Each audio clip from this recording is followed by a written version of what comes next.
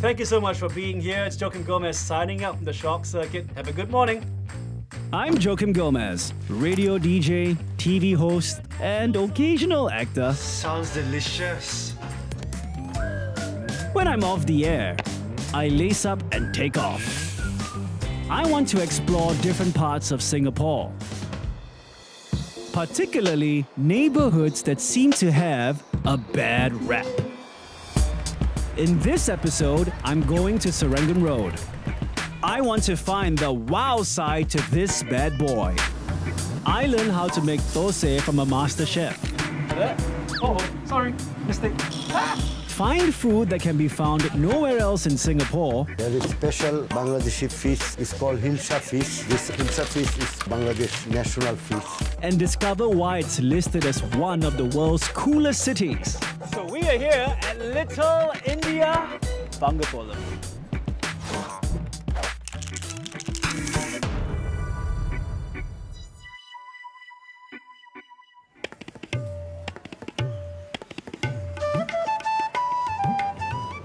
Half Indian, I feel a sense of connection to this bustling neighborhood that feels like a slice of India. Semma Day. Anyway, for Little India, I've been coming here since a kid. I spend time with family here as well. So when Time Out ranked this place 19th out of the 51 coolest neighborhoods in the world, I was very happy. Each year, Time Out publishes a list of world's coolest neighborhoods. While Little India ranks behind Cambodia's Wat Bo village at number 3, it is way ahead of Ubud in Bali at number 42. What exactly does a neighborhood need to have to become one of the coolest in the world? I'm meeting Cheryl Sekapan, one of the editors in Time Out who was involved in putting Little India on the world map. And I'm asked to meet her at Desker Road. Wait, isn't Desker Road infamously known for prostitution? So Cheryl, you chose to meet at Desker Road despite knowing its reputation. Why so? Yeah, it's interesting because Desker Road used to be a red light district, but since the pandemic, a lot of the activities have died down. So if you walk around here in the day or at night, you won't see any of that anymore. So how did Desker Road help Little India become a cool neighborhood?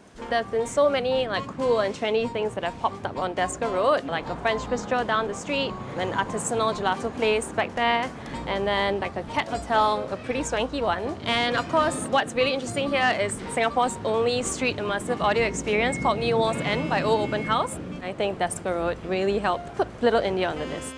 O Open House unveils the untold tales of Jalan Besar. Step into back alleys, hidden fantasy rooms, and unravel forgotten histories in this permanent immersive theatre experience. So aside from Desker Road, what else can you show me about Little India? Oh, let's go and see. Okay.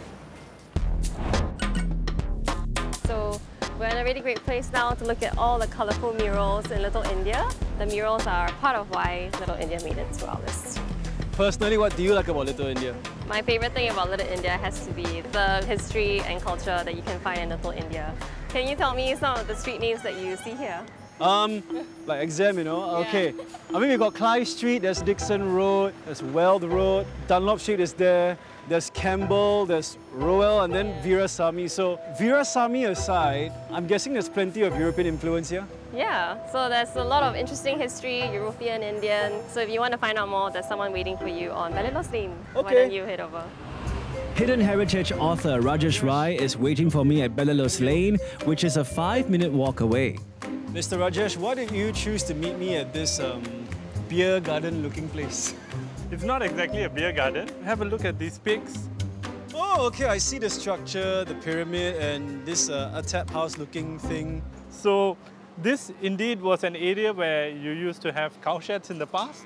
It belonged to a European Jewish cattle trader, dairy farmer uh, by the name of Belilios. So his sheds were located in this area. So, all those years ago, a European in Little India, how did that happen? In fact, there were many Europeans in this area. There were those who were engaged in plantations, growing things like different crops, sugarcane, and so on and so forth.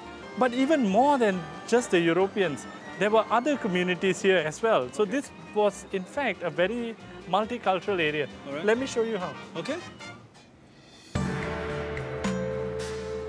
This is the last surviving Chinese villa in this area, built by Tan Teng Niah. He was a sweets trader. It was built around 1900 and really goes to show that, in fact, this area was a very cosmopolitan area. So, with Europeans and Chinese people, how did this place then become Little India? Well, for that, perhaps we should move to the racecourse road. Okay. The race course, of course, was a European pastime. Europeans came in around the mid 19th century to watch race horses. But Indians were employed here as well, as stable workers and as people who rode some of the horses. So many Indians began to move here, some of them over time began to set up shops here.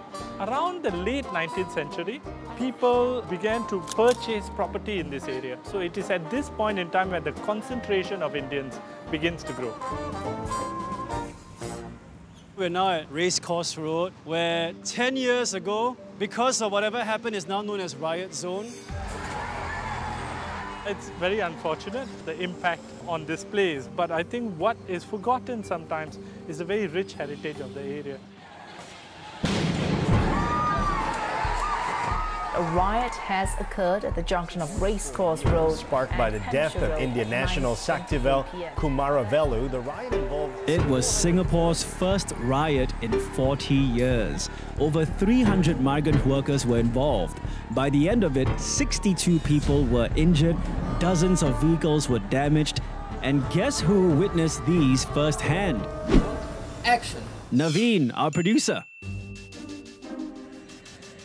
So you were there when it actually happened. Yeah, I was there. Right from MRT, I just came out and I saw this whole ruckus that was happening here. At first I thought it was a party that I wasn't invited to.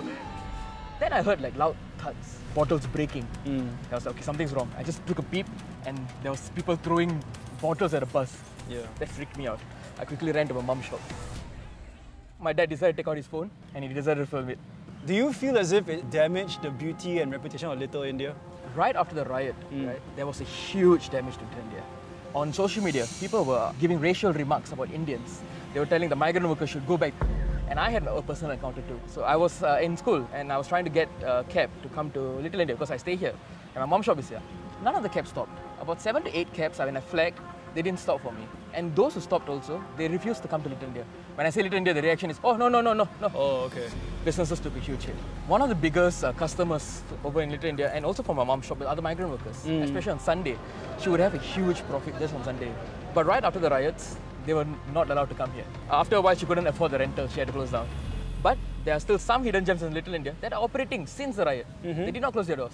For example, Komala Villas. Ah, okay. I know all about them. I love the puri over there. So is that for lunch today? Of course, that's our lunch. Ah, I'm looking forward to lunching. Wait, what am I doing here in their kitchen? Oh, sorry.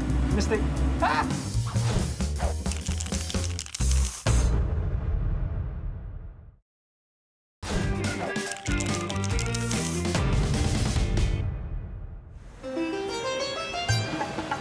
There are approximately 70 Indian restaurants in the vicinity surrounding Serangoon Road and its adjacent streets. I'm lunching here at one of the oldest Indian restaurants in Singapore. Ah, yes. Thank you very much. I never ordered lime juice. Hi, Jogi. Hello. My name is Raja. Welcome to our restaurant. Oh, it's your restaurant? All right. okay, have a seat, sir. Have a seat. No one told me I'll be dining with the owner of Komala Villas. Hello. Um, I've been coming here since a kid. What do you think set your restaurants apart from others here in Little India, which I walked past so many earlier? Yeah, we get all our cooks from India, and they are well trained. And some of them start getting training as young as seven years old. My grandfather and my father used to go down to India and taste the food.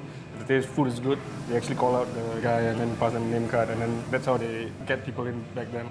So you got tourists, you get Singaporeans, you get migrant workers here as well. Have you served any celebrities? Yes, uh, I think one we are famous for is our Prime Minister Lee back then brought over the Prime Minister of India when he visited Prime Minister Modi to our restaurant in 2015. As a kid till now, puri is my favorite to have here at Komala Villas. But aside from puri, what else is your most popular dish? We are very well known for over 20 varieties of dosas, and even that uh, masala dosa is one of our most popular dishes. How many masala dosas do you sell in a day? Dosas, uh, we sell like over 400. Wow. Do you think for this show I can get exclusive access to your kitchen to see how it's being prepared? Yeah, okay, why not? So, this is Ponea. He's my head chef. Okay. He's been working with us for 30 years and he's been in this line for 60. So today you'll be assisting him. Okay. By the way, he doesn't speak English. So, good luck him. Okay. Thanks. Alright, so. Uh, uh, na Tamil konja teriyo. Okay, no problem. Rumba sorry. So it looks like I'll be learning how to make masala thosai from the master himself, but the communication, பிரச்சனை lah. Sir, this one, why you throw like that? Heat கம்மி பண்றாங்க. So one big sp- like that. Okay. Ah, okay. Like that. Oh, oh, sorry, mistake. Yeah, this is the Singaporean size thosai, very small. But don't judge a thosai by size, okay? This will taste good, I think. Oil, oil. Oh, oil. Okay. Can? Okay. This is the smallest thosai I've ever seen in my life. You order that, you get that, you refund straight away, please. It's my first masala thosai. Very good. Woo! First போடையில அப்படிதான் இருக்கும் அடுத்தடுத்த போடையில உங்களுக்கு கரெக்டாக வந்து and that was probably Chef Bonilla's way of asking me to try again. Ah, come on. And again. And again. Yeah, okay. Very good. Okay, masala. Okay, masala. So in the middle. And here's the folding part, which is scary for me. Ah, oh, no! No, I brought the dosa! No problem. Ah. ah no problem. So you heard of dine and dash. How about serve and dash, where I just put it on the table and run away? I don't even want to hear his comments. But you know what? Let's go face the truth. Right, Mr. Raja. Um, Allow me to present and serve you a first timer making masala thosai. Half for me, half for you. How about that? Okay. okay, be brutal. Any thoughts and comments? No, actually, this is uh, really not bad, no? For a first timer, yeah. For a first timer, I actually have seen some chefs who can't even do this. Oh, But you got rings and all, it's actually quite good, uh, quite impressive. Thank you so much for letting me see how it's made. Even give me how to prepare it as well. Where else do you think I should go around here in Little India? I think we are not the only one who served uh, celebrities before. There's Anusha Flower Shop. I think they have seen quite a number of celebrities. Maybe you should check them out. Let's go to the flower shop then.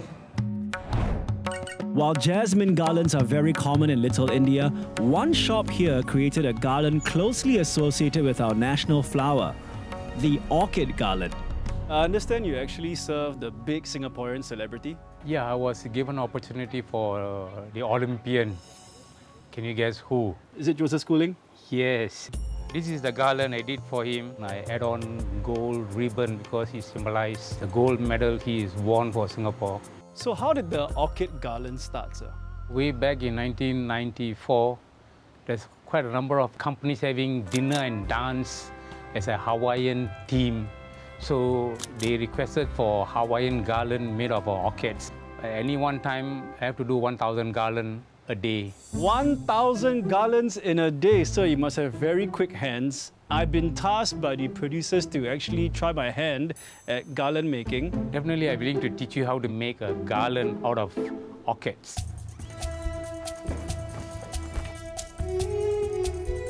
Here is the string, the stem, just put it, finish. I, I, I completely missed that, but okay. Like, zap, zoom, zap, done. Okay, now I'm going to teach you the flower knot. Okay, Okay. this is your left hand. Just take out the string, just place on top of your first finger and hold with your thumb. Okay, take out the stick on your right. Okay. Place on top of the string. Look at my stick, which direction. Oh, oh my god, I'm messing up big time. Okay. Okay, just leave it everything. Okay, leave everything.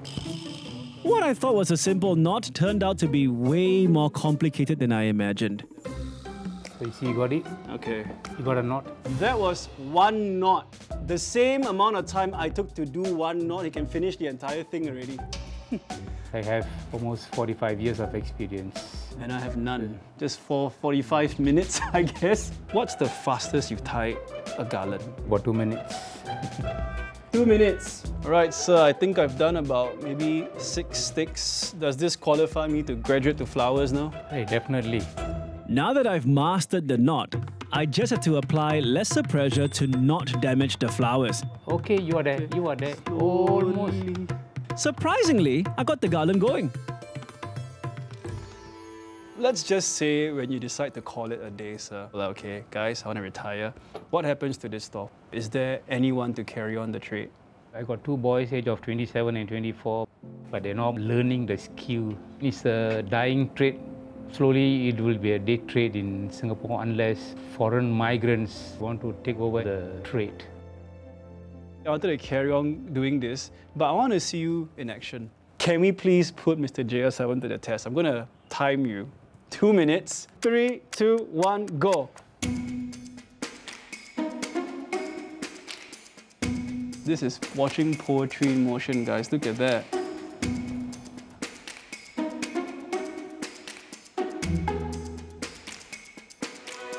Done. One minute and 30 seconds. Wow. Okay, wow, look at that. Thank you so much, sir. So it trades like flower garland making. I'm not surprised it is more or less dying here in Singapore because it is so niche, right? But we're getting help from our migrant workers to hopefully keep the trade alive. Eight of the nine flower shops I see on Buffalo Road alone have hired migrant workers tying garlands. Now, I've done flower garland making. I've helped the chef. What's next? Wake up at 4.30 a.m. tomorrow. On a Sunday,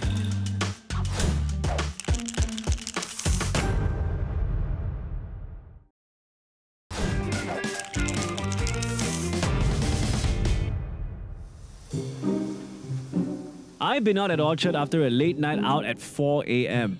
But Little India? Even Mustafa isn't 24 hours anymore. About time they changed this sign.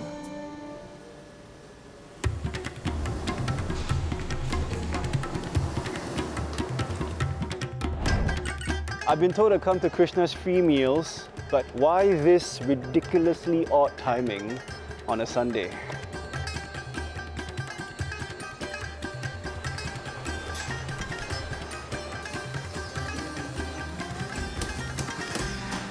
Hi Joakim, welcome to Krishna's Free Meals. Krishna's Free Meal is a soup kitchen which opens seven days a week for the migrant workers. They usually stay in dorms around Singapore, like some can be at Tuas, Changi, Pasir Ris. How do they come to this spot to get their breakfast at 6 a.m.? Many Indians, they are not used to try new food. They always uh, fix to their Indian traditional food. You give them something new, they won't take it. So the bosses drop them here, so they will get whatever food they want and they, they drive them back. How many meals do you serve on a daily basis? For weekday, we serve close to 2,000 breakfasts a day Mm. and lunch uh, close to 1,000. And then for Sunday, since many of them are not working, lunch will be around 2,000 plus. How do you prepare a meal for 2,000 people? You have to come and see for yourself. Okay, uh, so I'm guessing I'll be helping him cook today. Oh no, I can't cook, but I can follow instructions. Is that okay? Okay, better be a good learner. I try. Thank you. so that face of warning, you know, I'm scared already.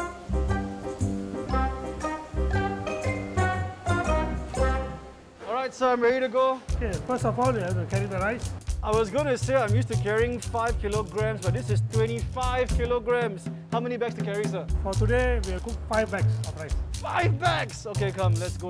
125 kilograms of rice, Slowly, yeah? five baskets of chickpeas and vegetables, multitude of ingredients, all for one lunch meal. I have been tasked to cook chickpea with soya masala, a protein and fiber-rich dish popular with the migrant workers. So with all the addition of the powder and all that, you can almost feel it getting a little bit hard to stir now. Wow, I'm switching hands now. My right hand is tired from all that stirring of the paste.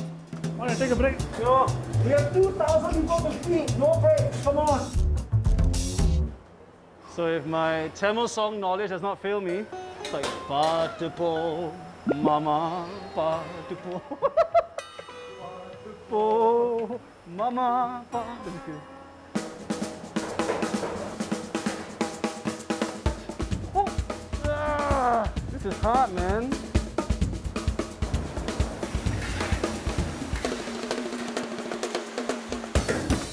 Okay, good. Ah, okay.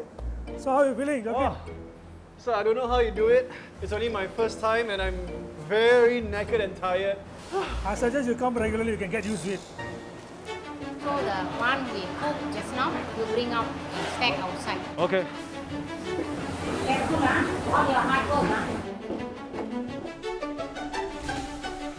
By 11 a.m., approximately 200 workers have arrived for their lunch. You guys are doing so much for migrant workers. Have they given back in their own way? Yes, they do. One group of them, when they get their salary, Hmm. they make it a point to come here and donate rice bags. Wow. It's their way of thanking us for giving them the meal. Do you get Singaporeans coming on a Sunday as well? Uh, yes, we do. Predominantly, they are elderly people, uh, people on their hard times, Mm. uh, different uh, nationalities as well. Another group that we are seeing is uh, Bangladeshis. There's a hidden gem around here in Little India where there's a place called uh, Little Bangladesh. You can check it out. Let me level with you. I'm extremely exhausted. It was hard work in the kitchen. But my heart is full looking at 2,000 plus migrant workers come on down here to collect their food and all that. But I've been energized at the thought of a little Bangladesh in Little India. Let's go have a look. But wait, I can't find it on Google Maps. Where is this little Bangladesh? Brothers, do you know where is Little Bangladesh? Just turn, turn left. okay. Little Bangladesh. This little Bangladesh seems like a place every migrant worker is familiar with. How did I not hear of this place? Hello, are you lost? Yes, I am, sir. Actually, can you tell me where Little Bangladesh Actually, is? this is called Little Bangladesh. Oh. Between the Lembu Road and Desker Road. People Okay. call it Little Bangladesh. My name is Joakim, and you are, sir? I'm AKM Mohsin, editor of Bangladeshi newspaper Banglar Kantha. Banglar Kantha is Southeast Asia's only Bengali newspaper. This newspaper focuses on the Bangladeshi community and is published here in Singapore. It is written entirely by migrant workers from around the world. Why is this place called Little Bangladesh? And 90s huge amount of Bangladeshi come here to work in shipyard and construction sector. Mm. This is the only place, the little India, they get the similar food. So Bangladeshi food shop, Bangladeshi grocery shop. Day by day it's increased and now most of the shop are Bangladeshi. Is there anything that can only be found in Little Bangladesh? A Special item imported from Bangladesh. You can get anywhere else in Singapore. Okay, can you please show me? Yeah, okay. This is one of Bangladeshi shop. Vegetables, groceries, all imported from Bangladesh. Okay, let me show you Bangladeshi fish. It's called Hilsa fish, uh, Bangladesh national fish. There's a national fish of Bangladesh. Yeah. I had no idea. Look at that. This is the fish right here. So, what kind of dish they prepare with this? Fish curry, fish uh, biryani also can. Is it very expensive, this fish? It's expensive. How much? yeah. Like 30 $30 kilo. $30 a kilo. Wow, so this would be like $60, I think? Yeah, Two two- kilos. So the workers buy it, they cook for the entire dormitory, I guess. Little India is home to so many communities. Our migrant workers from India and Bangladesh, we have Europeans, we have the Chinese community as well. It's reflective of what Singapore should be. And hopefully, by coming to places like these, we learn from each other's cultures. And if you were to ask me, definitely a cool neighborhood.